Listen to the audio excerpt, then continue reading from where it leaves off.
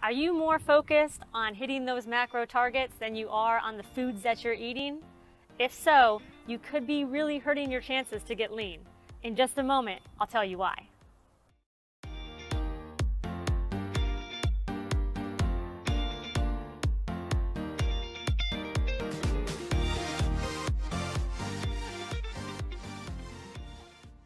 Hi, I'm Amanda with Nutrition WOD.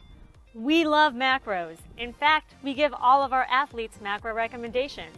They're a great way to make sure your meals are balanced and that you're getting all the nutrition you need.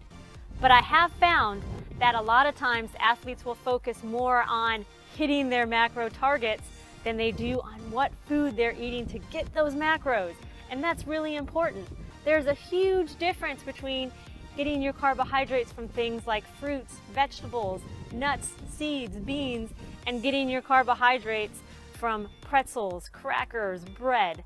You're not going to get as much fiber from the second part. You're not going to get feel as full and satisfied. So not only is it important to hit those macro targets, but it really makes a difference in what foods you choose to make that happen because that's where the difference is between just following macros and getting results from following macros. For more tips on why you may not be getting lean, check out the blog in the comments below.